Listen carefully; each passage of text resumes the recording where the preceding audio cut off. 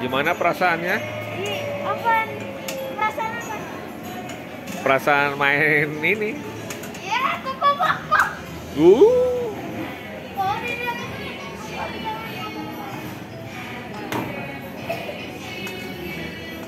maaf, Anda umur berapa, Pak? Eh, sembilan.